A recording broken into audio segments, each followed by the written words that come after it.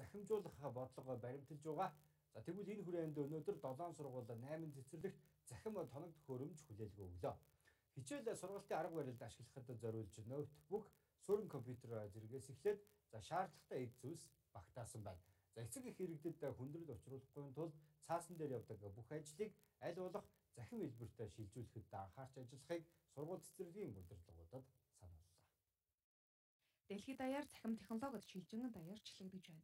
Манай улс ялгаагүй сүүлийн үед цахим систем технологиг нэвтрүүлж байгаа. Үүний хүрээнд боловсролын байгууллагад цахим шилжилт хийж эхэллээ. Тодорхойлбол сонгон хайрхан дүүргийн 7 сургууль 8 цэцэрлэгт улсын төсвөөс нийт 1 тэрбум төгрөгийн үнэ бүхий тоног төхөөрөмжийг гардууллаа тоног төхөөрөмжүүдийн одоо шинжилгээг сургуулиудаар одоо хийх шаардлагатай байна гэдэг хүсэлтийг удаадараа эцэг эхчүүд багш нарын зүгээс тавьж исэн.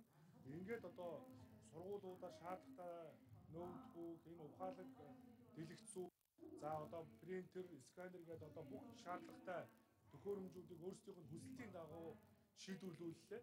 Тэгээ нийтдээ нэг 1 тэрбум төгрөгийн тоног тоног төхөөрөмжийг нийт 8 цэцэрлэг 7 сургууль дээр одоо хийж байгаа.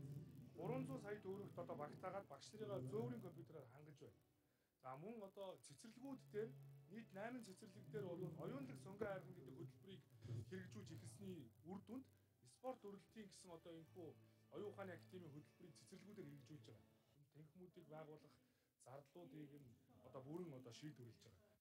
Сургуулиудад өгч байгаа тоног төхөөрөмжүүд нь дан ганц компьютероор зогсох хувь цахим шилжилт хийхэд шаардлагадаг хүүхдийг бүх талаар нь хөгжүүлэх төхөөрөмжүүд байгаа юм. Мөн үнээс гадна багш нарыг хөгжүүлэх боломж өгдөж сурагчийн сургалтын орчин нөхцөл сайжирч байгаад талархалтай байгаагаа сургуулийн төлөөллүүд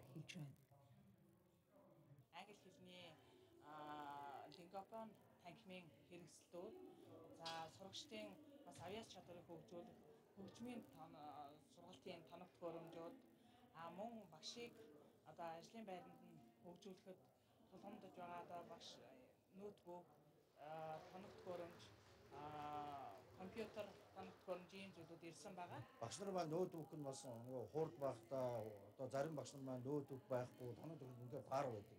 Өнөөдөр улсын төсөлд бас суулгаж өгнө гэж байгаа нь бол их үр дүнтэй гэж бодож байна. Энэ бол үнээр одоо хүүхдэд өрөөгөөс багшийн хөгжлийг дэмжсэн. Багш өөрөөгөө одоо ажлын байран дээр хөгжүүлэх боломжууд гарч байгаа. Тэгээ захим хичээл боломжтой болж багш нарт сургалтын хэрэглэгдэхүүн компьютер иж бүрэн сургалтын ширээ сандал галт тогооны тавилга хэрэгсэл угаалгын машин өгсөнд бол манай цэцэрлэгийн үйл ажиллагаа цаашид бол их сайхан болж ингэж өргөжж байгаа. Энэ мэдчлэн сургууль цэцэрлэгийн сургалтын үйл ажиллагааг дэмжих бодлогыг төрөөс барьж эхэллээ. Ингэснээр өдөр тутмын үйл ажиллагаа сургалтын болон боловсрал олгох хөтөлбөрүүд илүү хурдан шуурхай, хүндрэлж хэрэгдлэхгүй, хүртээмжтэй байдлаар хэрэгжих боломж бүрдэж байгааг албаныхан онцоллоо. Өнөөдөр даваа